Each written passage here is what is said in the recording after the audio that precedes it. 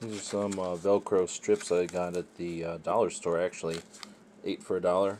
And I'm going to see if I can't use them in this organizer to help keep some of this kind of stuff a little more organized.